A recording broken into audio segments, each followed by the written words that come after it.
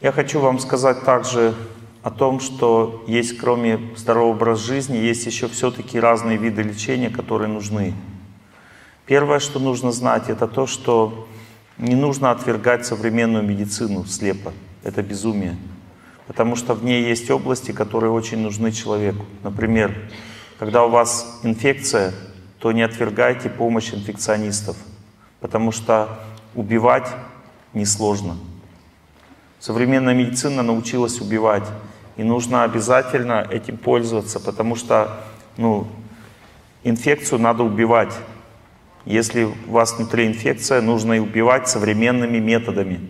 Понимаете, чтобы было быстрее и качественнее. Поэтому инфекционная помощь нужна. Не отказывайтесь от лечения инфекции любыми способами лечить. Например, у меня была кишечная инфекция, и в принципе ее можно лечить без антибиотиков. Потому что есть, допустим, корень полыни, есть э, листья нимба, есть зверобой, есть э, э, тысячелистник. Это естественные средства, уничтожающие инфекцию в кишечнике. И можно из них выбрать, если ты знаешь как. Но я не мог выбрать, потому что я обнаружил инфекцию в самолете. Да, летел в самолете. Там не было ни корня, ни полыни, ни, как бы, ни зверобоя. Вот, и я просто э, сказал стюардессе, у меня инфекция. И она принесла антибиотики. Я их выпил. Это честно. Нет возможности естественными средствами. Лечись как можешь. Следующее правило. Некоторые женщины для того, чтобы комфортно все протекало спокойно, не пользуются услугами акушеров. Это безумие. Потому что нет гарантии, что ваши роды пойдут правильно. Никто никогда не гарантирует, что женщина, рожая, не погибнет сама или не погубит своего ребенка. Поэтому для того, чтобы рожать, лучше это делать в тех условиях, в которых максимальная защита есть. Означает больницы.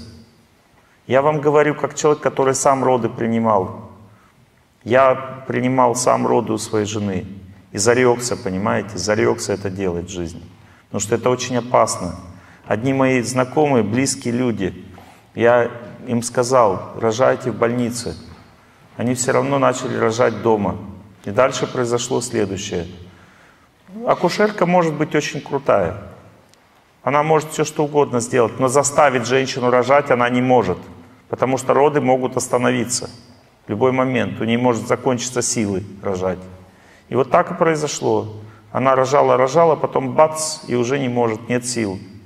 И дальше что? Ее все равно везут в больницу, но теряют время. Так как теряют время, страдает ребенок, страдает мать.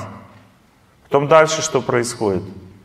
Мать кладут в реанимацию после родов, потому что у ней а, перестают отказывать почки. То есть мы начинаем молиться.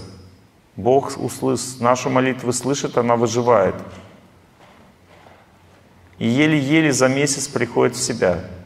Ну и зачем это было надо, скажите мне, зачем? Я уж не буду вам рассказывать те случаи, когда мои знакомые погибали из-за того, что были вот эти роды на дому. И также не буду рассказывать, когда все хорошо заканчивалось, потому что вам это не обязательно знать. Надо ехать в больницу, мои хорошие. Просто есть разные роддома, есть платные, там, которые уже там ухаживают, заботятся. Ну вот это выбирайте. Потому что в каждом роддоме есть, где как бы принимают роды, там рядышком есть и хирургическое отделение. Если что не так пошло, 5 секунд, и вы уже спасаете себе жизнь и ребенку. Понятно, да, система? Следующее. Какие еще из видов медицины надо всегда принимать человеку. При злокачественных опухолях я уже сказал вам. Дальше. А, есть такое понятие, как реанимация или экстренная медицинская помощь. Никогда не отказывайтесь, мои хорошие, никогда не отказывайтесь. Это надо. Даже если вы хотите сами вылечиться от болезни, если у вас состояние, в котором нужна быстрая помощь, никогда не отказывайтесь. Даже в древней медицине такая экстренная помощь была. И это не означает, что вам делают что-то сильно хорошее, понимаете? Главное жизнь спасти в это время. Могут колоть разные яды внутрь, там всякие вещества, даже наркотики. Знаете, что наркотики могут спасти жизнь? Когда у человека сильная боль, он от боли может погибнуть. И тогда нужны наркотические вещества для того, чтобы человек не чувствовал боли. Один раз не грех. Вы же не собираетесь потом это колоть всю жизнь. Ну, то есть это хорошо, когда человек обезболивает, он выживает, потом дальше живет уже нормально. И так далее. Экстренная помощь — это хорошо. Теперь дальше. Лечить зубы — это хорошо. Они сами не растут.